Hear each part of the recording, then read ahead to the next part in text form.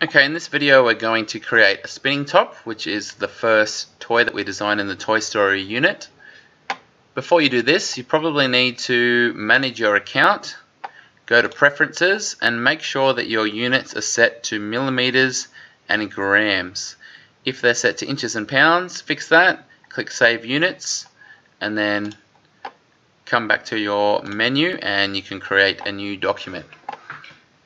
If you're doing it differently as a one-off, you can change the units for just one document by clicking on the three horizontal lines and going to workspace units. But generally you'll be doing the same thing and it's easier to set it once and forget. Okay, I'm going to hide these planes and I'm going to start a sketch and I can click on the top plane here even though it's hidden. Press the N key and now the camera has spun around for me. We have a constraint when we're designing our spinning top that it needs to fit inside a 75 by 75 millimeter area. So the first thing we're going to do is to constrain that with dimensions.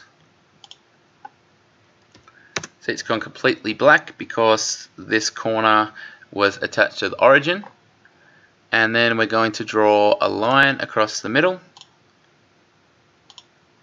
to find the center point, we're going to select all of this and come up to construction or press the Q key to toggle it as construction lines. First thing we need to do is snap to the middle of this line is to have a circle that's about 6 millimeters. This is where we're going to put the pencil through to be the vertical part of the spinning top. Next thing you need to do is decide how you're going to design it in terms of the shape.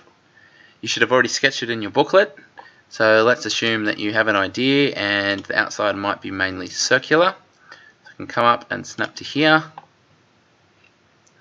and we've got our main body. It doesn't have to be circular, but as long as it fits inside this box, then you know you are doing the right thing. Next thing I'm going to do is to draw some various shapes that I want to be cut out and then I'm going to pattern them around because we know if the weight is distributed evenly around the spinning top that it will spin smoothly but if we have a cutout on one side but not on the other it's going to wobble and it's not going to spin for very long. So I might use my three point arc tool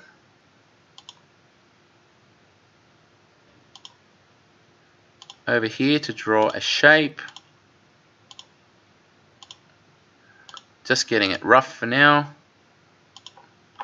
Press escape key when I'm finished. Now a good chance to show you some other constraints. We have one called tangent which we'll use on this one here. It will make them smoothly go into one another. Click the tangent, much much smoother. I'll also do the same up here and you can always experiment by trying it on ones like this. If it changes too much, you can hit the undo button, which is in the top left of the screen. Now the reason I'm making this so big is that we have a 5mm cutter. So anything smaller than 5 millimeters, the cutter won't be able to get inside. So if you want to test that at any stage, just quickly do a circle and set it to 5 millimeters and then drag and move it around. If for instance I was to alter this and make it much skinnier like so if I click and drag the cutter it will fit in here but once it gets to this corner you can see the cutter won't actually be able to get into the corner. So keep that in mind. Everything you draw needs to be bigger than 5 millimeters for the cutter to get inside and cut it out. So I'm going to delete that one. I'm going to leave this shape as is. That will do for this example. The only thing I might do is drag the center point to make that bigger, like we just discussed. Okay. Rather than try and draw this several other times around and try and get them all centered and accurate, there's already something built into the program. We come up to the linear pattern, but instead click the arrow and go to circular pattern. We can now click on what we've just drawn and you can see that it's offering to copy it around. We need to move the center of the rotation to match the center of our circle. And if we double click where it says three times, we can actually change the amount. Now these ones a little bit too close. There's a good chance that it'll snap when it's being cut, so we might try five times. And we should have enough material here for it to be strong enough. So once I'm happy with that, it's telling me to press the left click button to save it. And it is now saved. I can always, once I finish the sketch, come back to this. I can double click on this like anything else. I can retrospectively edit and it will update and you'll also find that you should be able to do things like clicking and dragging the original and all of the other ones will match. I liked it better the first time so I'm going to undo that. Close my sketch and I'm ready to make it three-dimensional. I'm going to go to extrude click in the section that I would like to have 3D. We need to set it to 3 millimeters to match the plastic that it's being cut from and we don't want any draft or any of these other options. You can see our before and after. Hit the tick and we've got our base shape. Just as an example, you can have parts that are cut the whole way through. You can also have things that are engraved partially into the surface. So we'll do one of those now. We'll click Sketch and we'll click on this top flat surface, press the N key, and we're drawing on the top of what we've already done. I might have this time another arc. I'm going to draw it like so. And rather than redraw this circle, we have something built in called Use. It's next to the text. We click on it and then click on our shape and it makes a copy of it on the current sketch locked to match. Now I can use the trim tool and cut off these extra little bits I don't want. And I'm ready to once again do a circular pattern. Click on my geometry drag it to the middle to match and put in that I want five times to match Okay, left click to finish. And I'm finished with this sketch. This on my extrude is going to be slightly different. I'm going to click on extrude and then click my sections one at a time. That will be added.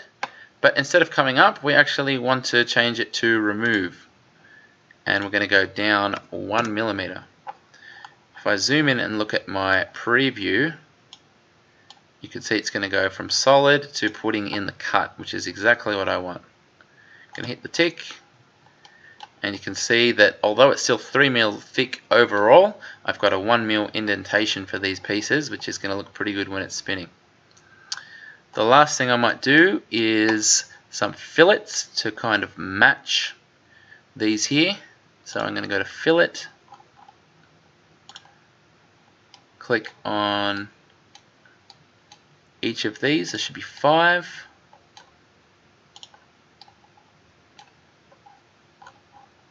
Zoom in to help me. Okay, so I want it to match, to look concentric, like they have the same center point. So maybe about here. Might round this to three and a half. That looks good. Hit the tick. And then I might do the same for this one to get it nice and round. So once again go to fillet. Select each of my little lines